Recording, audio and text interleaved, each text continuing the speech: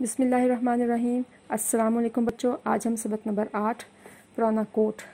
इसकी तशरी करेंगे, ये एक नज़म है। इसकी इसकी मश्क हमने कर ली हुई है, इसका लिंक मैं डिस्क्रिप्शन में लिख दूँगी, आप उसे देख लीजिएगा।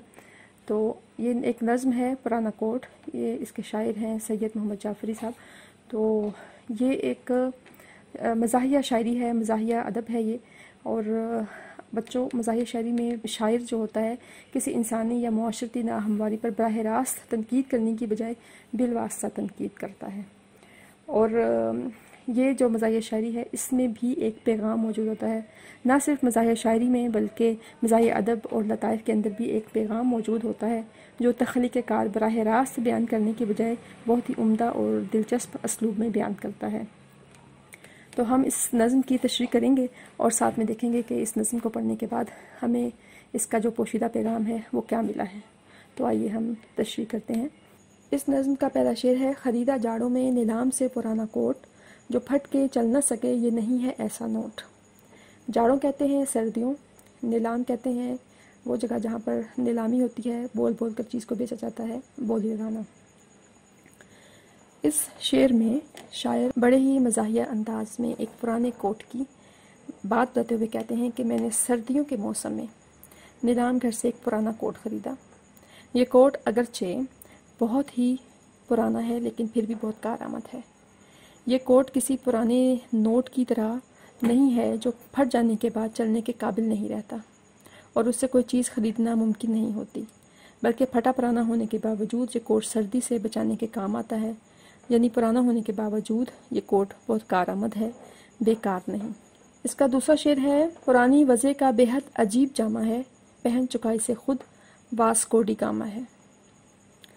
शायर इस शेर में बयान कर रहे हैं कि अगरचे ये कोट पुरानी शक्ल सूरत का वजह शक्ल सूरत, पुरानी शक्ल सूरत का और पुराने फ़ैशन का है और आजकल के कोटों को देखकर इसकी शक्ल अजीब सी लगती है। आजकल के कोटों को देखकर इसकी शक्ल अजीब सी लगती है, क्योंकि ये कोट जदीद किस्म के कोटों की तराश खराश से मेल नहीं खाता। ये कोट इतना पुराना है कि इसे देखकर यूँ महसूस होता है कि जैसे दुनिया का मशहूर सयाह वास्कोडी गामा, जो आज से सैकड़ों साल पहले सेहत करता था, वो भी इसे पहन चुका है। यदि शायर यहाँ पर ये बताना चाहता है कि यो ये कोट वास्कोडी गामा के ज़माने का है।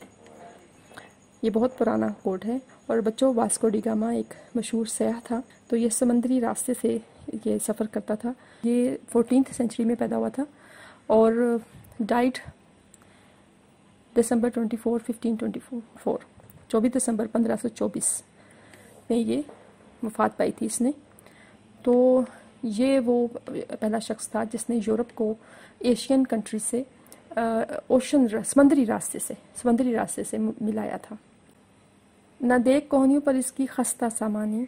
पहन चुके हैं इसे तुर्क और ईरानी। शायद कहता है कि यूँ तो पुराना कोट जगह जगह से फटा हुआ है, लेकिन कोहनियों से इसकी हालत बहुत ही ज़्यादा अबतर है। वो बहुत ज़्यादा खस्ता हो चुकी है। इसकी ये हालत बहुत ख़राब है। कोट की ऐसी हालत देख कर ख्याल गुजरता है कि तुर्क और ईरान के वो लोग जो सैकड़ों साल पहले बर सग़ीर में वारद हुए थे, वो भी इस कोट को इस्तेमाल कर चुके हैं। यानी ये कोट उन लोगों के ज़ेर इस्तेमाल भी रह चुका है। अगले शेर में शायर क्या कहता है कि जगह जगह ये फिरा मिसले मार को पोलो, ये कोट कोटों का लीडर है, इसकी जय बोलो। लीडर कहते हैं रहनुमा को जय बोलो बोल मतलब इसके हक में नारे लगाओ।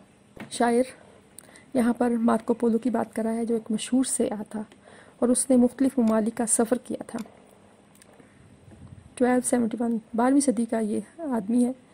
इसने जब सफ़र किया था और ये पैदा हुआ था बारह सौ चौवन में और ये वफात पाई थी इसने तेरह सौ चौबीस में। ये एक्सप्लोरर है मर्चेंट है। शायर कहता है कि जिस तरह मार्को पोलो ने दुनिया के मुख्तलिफ़ हिस्सों का सफ़र किया है, बल्कि इसी और इसी तरह ये कोट भी बहुत ज़्यादा, बहुत सारे इलाकों की सैर कर चुका है। कभी किसी जगह तो कभी किसी जगह।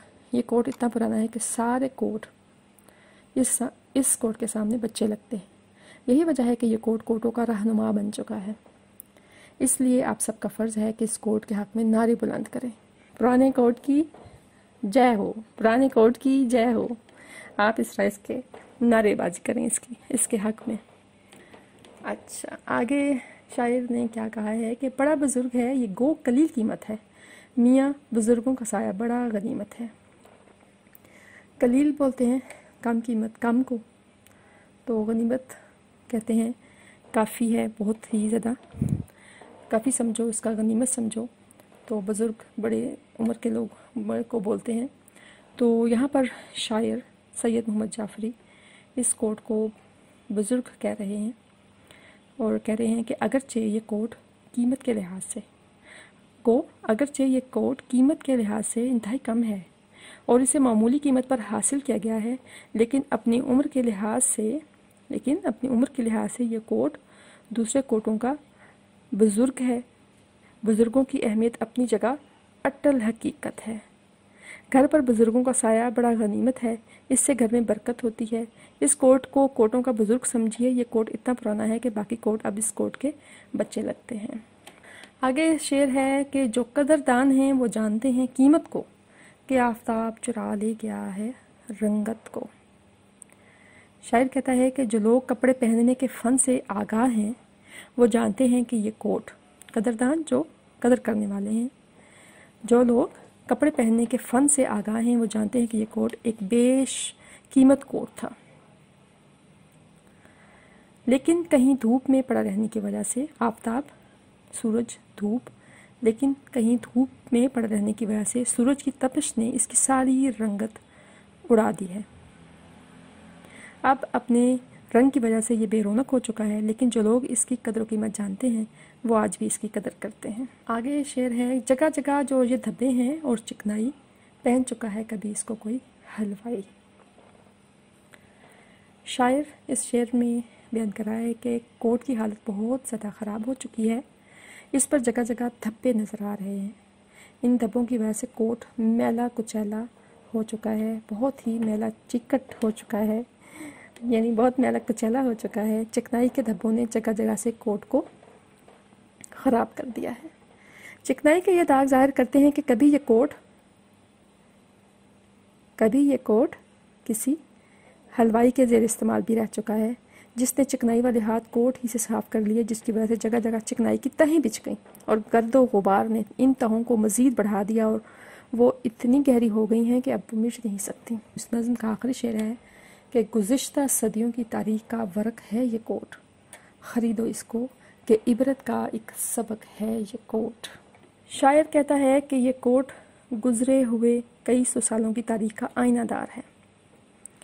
बरक सफ़ा आइनादार गुज्त पिछली सदियों, साल, सदियों कहते हैं सैकड़ों, एक सदी होती है, सौ साल पर मुबनी होती है।